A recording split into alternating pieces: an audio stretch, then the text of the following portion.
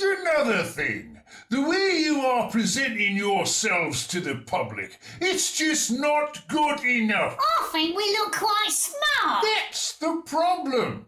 Take a look at the way the Met Police in London present themselves to the public. They don't look very smart, sir.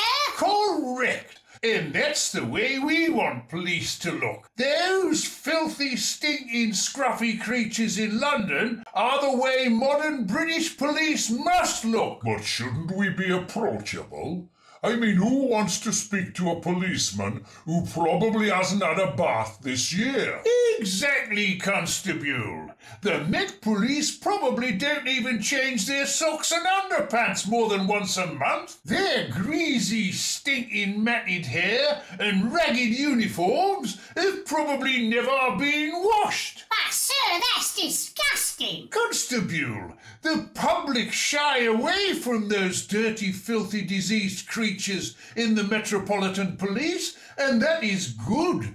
After all, modern police officers are only interested in serving those ragbags who strut about the streets as if they own the place. And can't speak English? Exactly. And remember your two-tier policing, Constable. For God's sake, we've spent enough time and effort ramming that down your throats. Yes, sir. But shouldn't we try to be on good terms with all the public?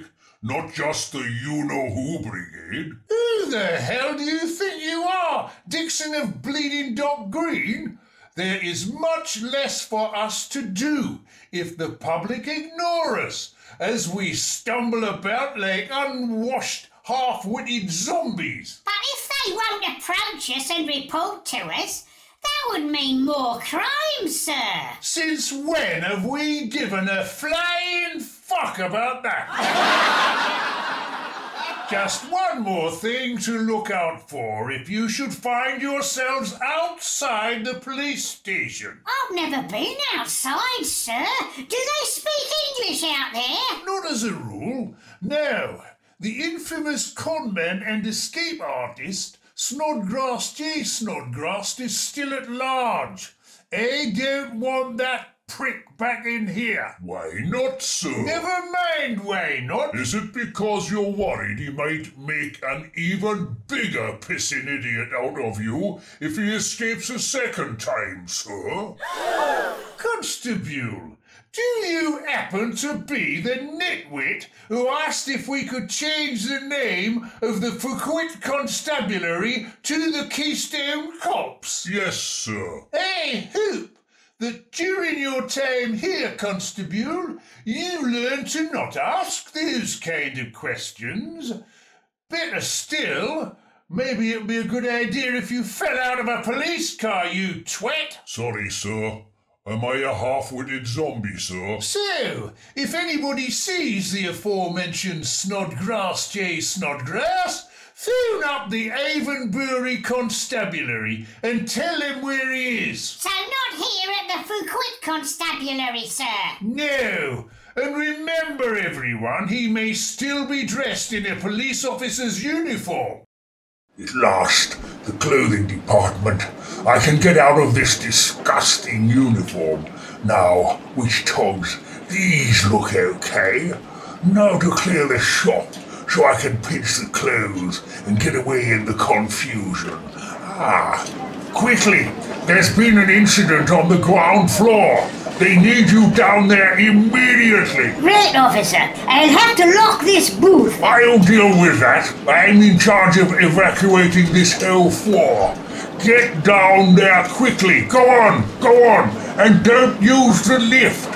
It's been hijacked by a crazy leper. But it's ten floors to the ground floor. Just walk down or I'll arrest you for obstructing the police. Emergency! Emergency! This is the police! This store must be evacuated! Go immediately to the nearest exit! Do not call the police! I repeat, do not call the police! As you must all be aware, the two-tier Metropolitan Police Force is under the control of an unexploded half-wit. Evacuate this store immediately! Evacuate! Evacuate!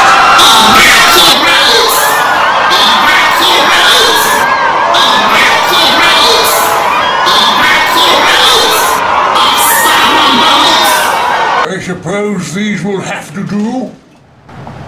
So, you actually saw the bogus policeman go into the store? Yes, I remember thinking he looked too clean to be a real police officer. He was nothing like the dirty, filthy, greasy, stinking, insect-infested bastards in the Metropolitan Police. That's Snodgrass! He's wanted! Police! Police!